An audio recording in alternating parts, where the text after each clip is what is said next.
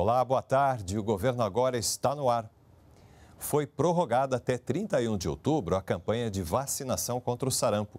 Segundo o Ministério da Saúde, apenas 5,8% do público-alvo, pessoas entre 20 e 49 anos, foi vacinado.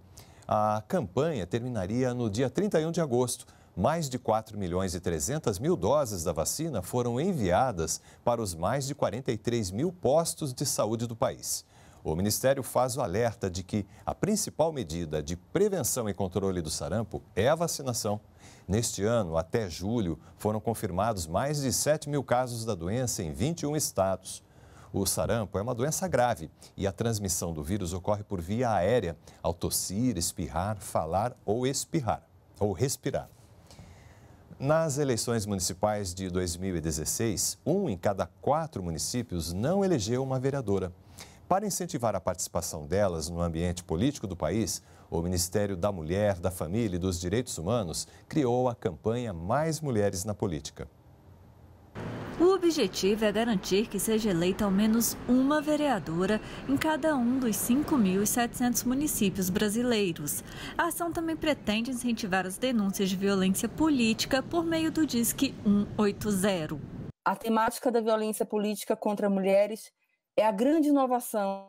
O fato é que o tema foi pouco explorado ao longo dos anos, a despeito de ser uma das principais causas da subrepresentação das mulheres na política. A Câmara dos Deputados e 18 partidos políticos apoiam a campanha que vai capacitar as mulheres que pretendem ingressar na política por meio de cartilhas, lives com especialistas e peças publicitárias. Vamos levar mulheres para as câmaras de vereadores e levar mulheres preparadas e prontas, e aí que vem o nosso programa, que essas candidatas já vão para o pleito, já vão para a campanha com uma bandeira de proteção da mulher, já vão para a campanha com uma bandeira e com uma proposta de garantia de direitos da mulher. Hoje é o Dia Nacional do Voluntariado e o presidente Jair Bolsonaro participou agora há pouco de uma cerimônia em comemoração no Palácio do Planalto, ao lado da primeira-dama Michele Bolsonaro, que também é presidente do Conselho do Pátria Voluntária. O programa do governo tem o objetivo de incentivar a prática do voluntariado no país. De acordo com o IBGE, mais de 7 milhões de pessoas no Brasil realizam algum tipo de trabalho voluntário. E seja em defesa de uma causa, de uma instituição ou de pessoas, o trabalho voluntário tem um papel ativo na transformação de qualquer sociedade.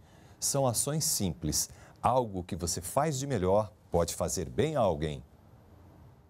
Luísa conseguiu realizar o sonho de chegar à universidade e hoje é estudante de direito.